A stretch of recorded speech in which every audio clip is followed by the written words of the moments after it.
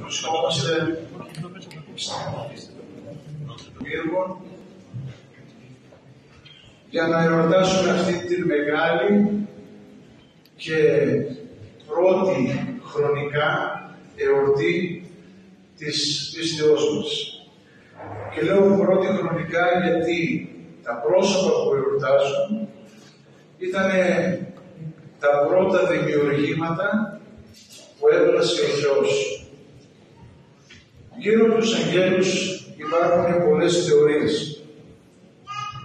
Και δυστυχώς σήμερα η πληροφορία τρέχει, υπάρχουν πολλές λανθασμένες θεωρίες και λέω διαδικτύου πολλοί εκ των χριστιανών μας τις ακούν γιατί έχουν σχέση με θεραπείες. Υπάρχει ολόκληρος άξονας που λέγεται αγγελοθεραπεία ή αγγελοφάνειες που εμφανίζονται και είναι ομάδες ανθρώπων που τις ακολουθούν όπως ακολουθούμε εμείς στην Ορθόδοξη πίστη. Όλα αυτά είναι μέσα σε ερετικούς χώρους.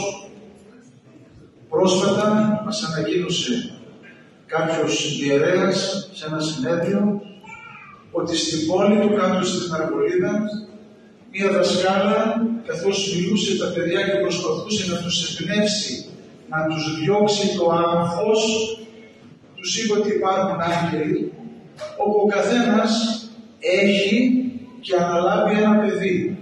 Αυτό το λέμε και εμείς, ότι ο καθένας μας έχει τον φύλακα αγγελό του.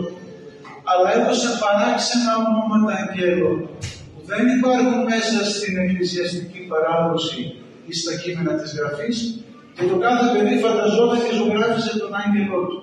Και πάνω στα τετράδια τους γράψανε το όνομα του αγγέλου. Θορυβήθηκαν οι μητέρες, απευθύνθηκαν στη Μητρόπολη και είδαν τελικά ότι αυτή η κυρία η δασκάλα, κατά τα άλλα άριστη, προσπαθούσε να εισαγάγει τα παιδιά στη φιλοσοφία της αγγελοθεραπείας. Και παρόλο που μιλάει για αγγέλους, είναι μέσα σε αιρετικούς χώρους.